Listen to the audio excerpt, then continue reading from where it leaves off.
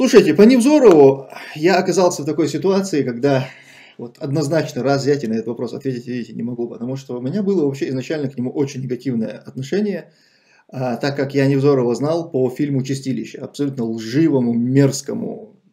В том, что насколько правдиво, что у Кадырова был страх перед братьями, братьями Ямадаевыми, хотя по преступности вроде оба стоили друг друга.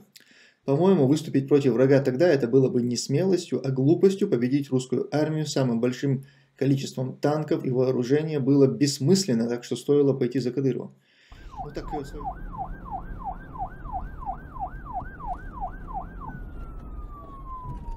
Дисципулус. Ассаламу алейкум всем. Загнивающий Запад хочет поставить российскую экономику на колени, а она как лежала, так и лежит. Она даже на колени не может встать. Алейкум ассаляму Как ты относишься к Невзорову? Слушайте, по Невзорову я оказался в такой ситуации, когда вот однозначно раз взять и на этот вопрос ответить, видите, не могу, потому что у меня было вообще изначально к нему очень негативное отношение, а, так как я Невзорова знал по фильму «Чистилище», абсолютно лживому, мерзкому, пропагандистскому а, материалу, созданному для опорочивания чеченцев, для чеченской армии, чеченского сопротивления. Там э, в роли Нагиев, точнее Нагиев в роли э, одного из чеченских лидеров, полевых командиров, вел себя максимально не по-чеченски.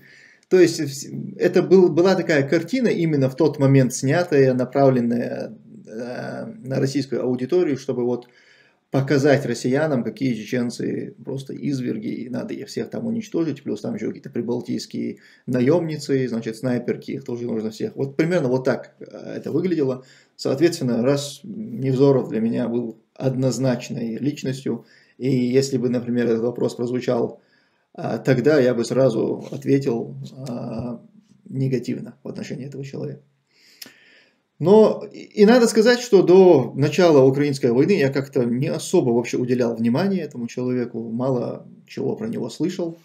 Где-то там выскакивали какие-то ролики, может быть, там где-то я натыкался, но никогда не включал и не смотрел, ну вообще не интересно было. Потом на тебе начинается война, я узнаю, что он куда-то там, значит, уехал, с ним делают интервью, все освещают ситуацию, что он уехал, он кричит, что слава Украине, на него возбуждают уголовное дело, потом на тебе, там с Гордоном у него интервью очень комплиментарное, там Гордон прям хорошо к нему относится, называя его Гле, Глебычем.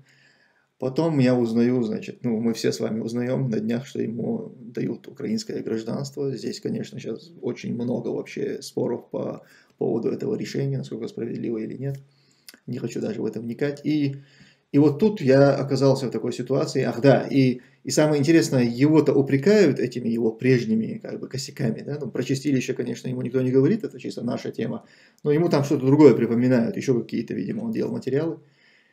И он отвечает, типа, ну, я был болен чумой, он говорит. Разве есть вина на человеке, который был болен? Вот я переболел, теперь я, мол, исцелился. И, ну и Могу ли я теперь сказать, да не, нет у тебя права на исцеление? Да не, наверное, не могу.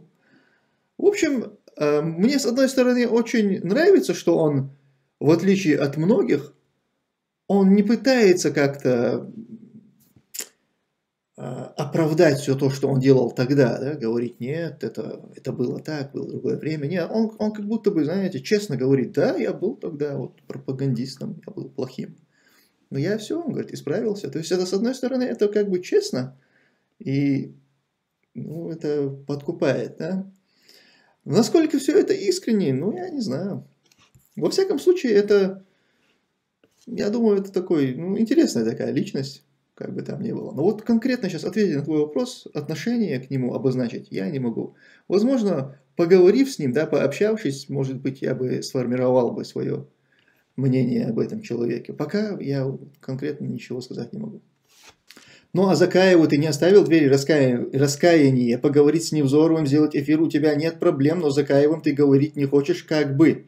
Но это же неправда, Кот Котов. Наоборот, я же... У, у Закаевым вообще нет никаких проблем по поводу а, раскаяния там, и так далее. Закаев А, ему, он, в принципе, уже как бы за некоторые действия там, принес свои извинения. А ему просто нужно, вот после того, как человек приносит свои извинения, ему просто нужно отойти. Все, как бы никаких нет больше вопросов к человеку. Кто собирается с него что-то там, какие-то претензии ему предъявлять, что-то с него спрашивать, тем более там, к ответу его, да никто, перестаньте. Здесь вопрос в другом. Просто есть политика, есть ну, частная жизнь, там, журналистика, это разные вещи.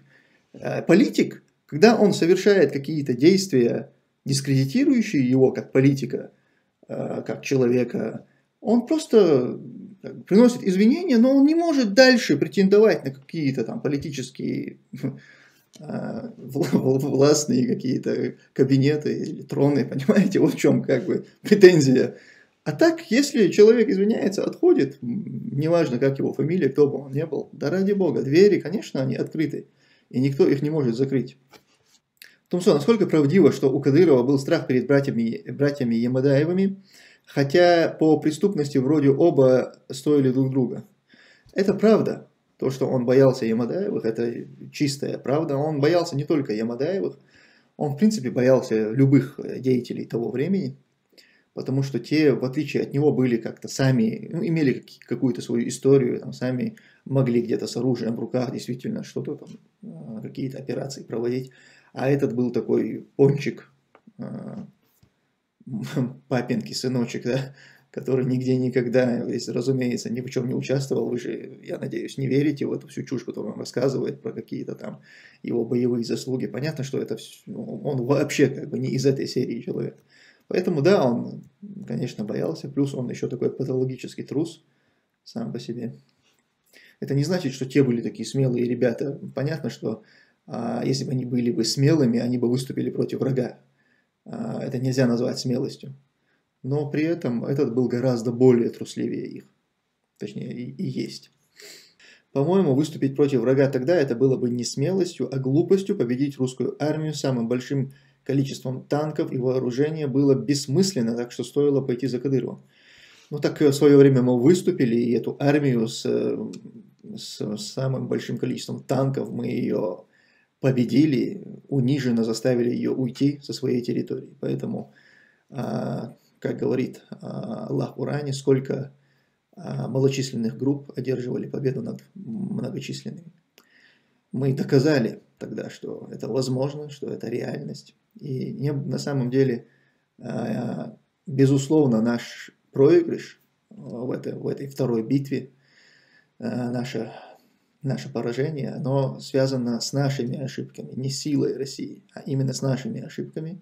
Это, безусловно, для нас испытание, которое мы, иншаллах, пройдем, эти ошибки мы исправим, и мы вернем свою свободу и независимость с помощью Аллаха.